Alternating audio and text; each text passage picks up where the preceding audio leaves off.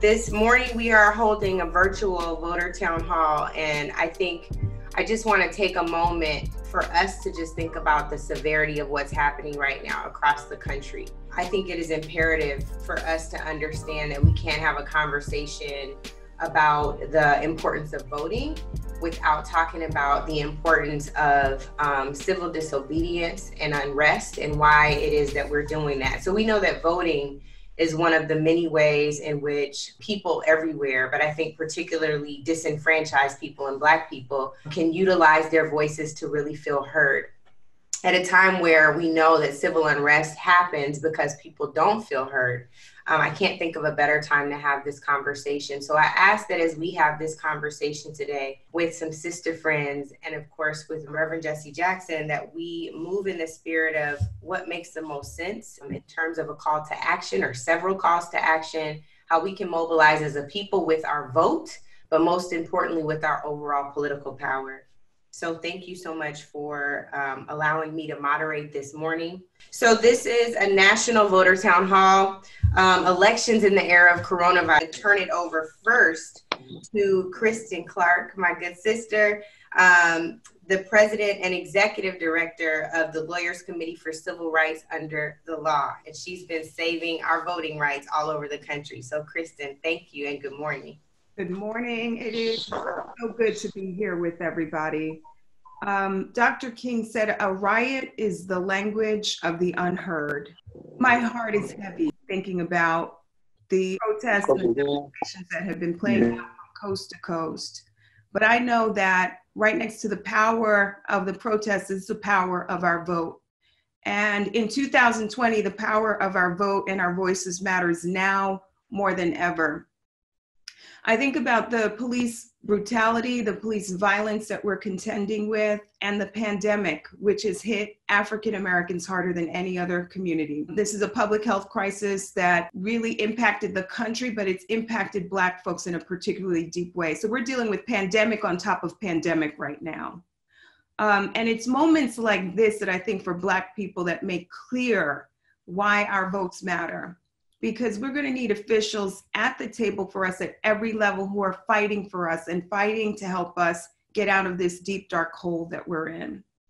We're going to need officials at the city level, the state level, the federal level that can help us figure out how do we get out of this economic crisis that's gripping the country? How do we deal with the systemic discrimination that infects our health care system? How do we deal with police brutality and police violence that has gone unchecked for far too long? Angela, I hear you on focusing on the work at hand. And so that's what I want to talk about. The pandemic has turned our voting system upside down. There are about eight states holding primary elections on Tuesday and several states holding primaries throughout the month of June. Then we're going to get a chance to kind of catch our breath until November, November 3rd, 2020. Here's what we got to do right now one, we got to make sure that our folks, everybody in our network, our family members, people we go to church with, people we go to school with, we got to make sure that folks are registered to vote. We know that um, purging of the voter rolls is a real thing, right? So even if you think you're registered, now is actually a critical time to make sure you are still indeed registered and active registered and that you are on the rolls and able to exercise your voice in 2020. Um, and here's the other thing there are millions of people across the country who actually are not yet registered.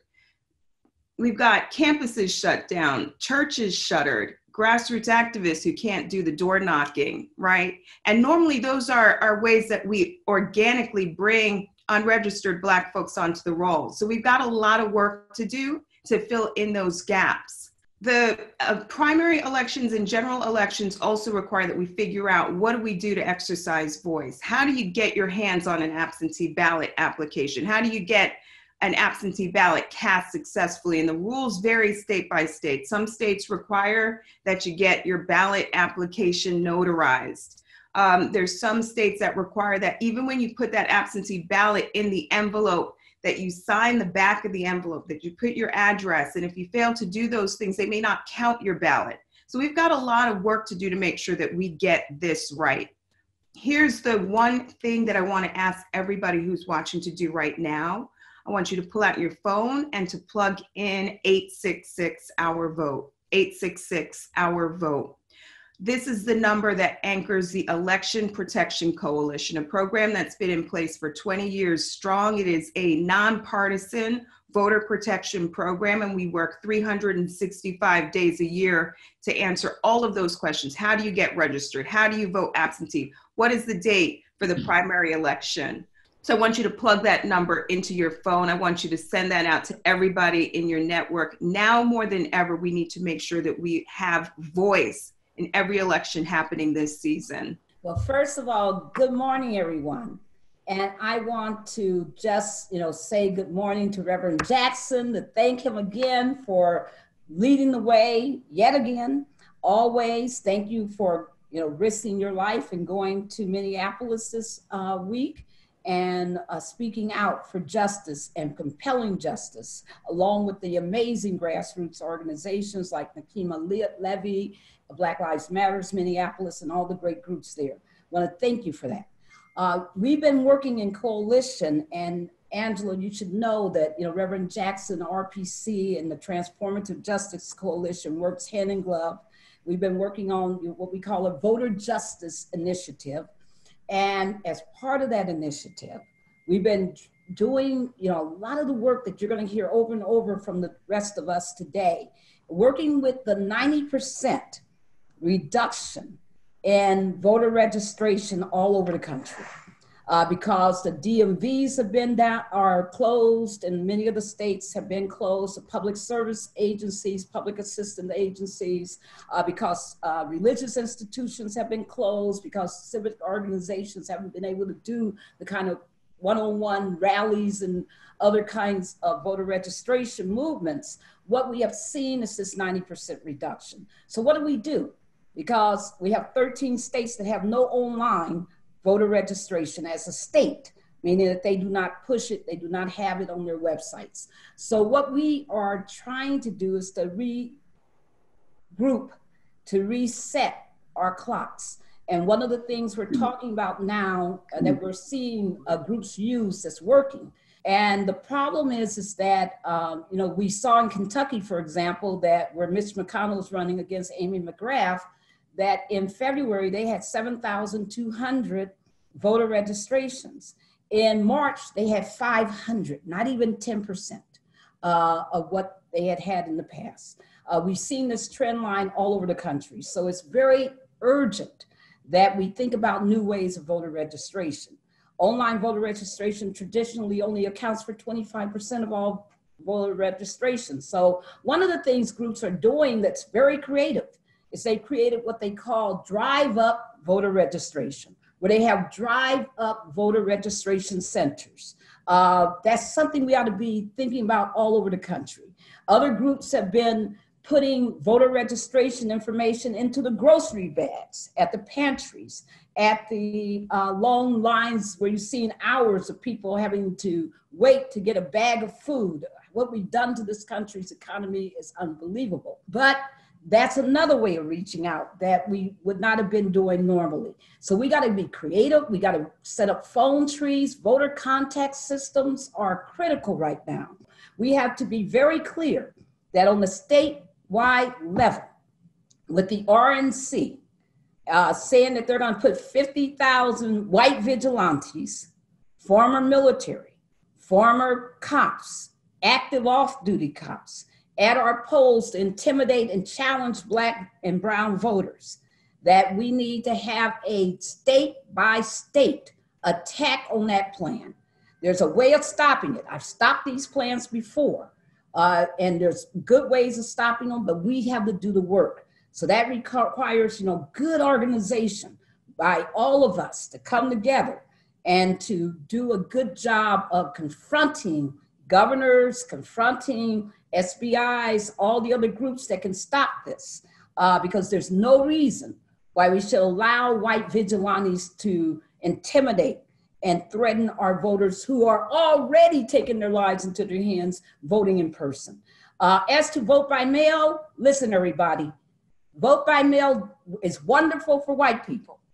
Wherever it's used, white voter right participation goes up significantly. In Wisconsin, it went up by 14%. Unbelievable. Fantastic turnout of progressive white voters. What happened in Milwaukee? Milwaukee, it went down by 30%. Voter participation among Blacks was down 30%. We're seeing this trend line uh, in other states uh, as we're, as you know, the application process, there's a big difference between the application participation rates for Blacks and whites in Pennsylvania. We're seeing uh, what happened in Paterson, uh, New Jersey. We're seeing these trend lines. Let's be very clear that what we got to have is what's called voter options. We got to have more than vote by mail. We got to also have drive up voting. There's uh, in those states that people talk about, Washington and Oregon, that people are so proud of because they do all vote by mail. They have drive up voting also. They allow you to drive up and drop off your ballot right at the polling site. Uh, where they have the kangaroos. Those are people in big aprons who, who take your ballots. They're poll workers who collect the ballots. They have drive up curbside voting. They have, uh, you know, other drive-through voting options. Give people these options. We also need Pennsylvania, because of the low application rate, has just yesterday instituted drop-off boxes. Uh, Maryland has that system. A lot of states do. It's a very effective way of people who don't trust the mail being able to actually see their ballot deposited. The other system that you got to have, of course, is expanded early voting, and you got to, uh, because early voting is the best way for our people to know what's going on, and you got to have, you know, some form of, of safe, safe uh, on part, on site voting. That means you got to get rid of the machines that can't be cleaned. That, and there are several of them that are in use that cannot be disinfected between voters. That means that you got to make sure that every voter has PPE, not just poll workers. But no voter should be in there without their, what should be standing in line without a mask and gloves. We got to walk those lines and make sure people have the proper PPE. We got to make sure that all the poll workers are protected. These are just things that are new that we got to do in this era. And we just have to unite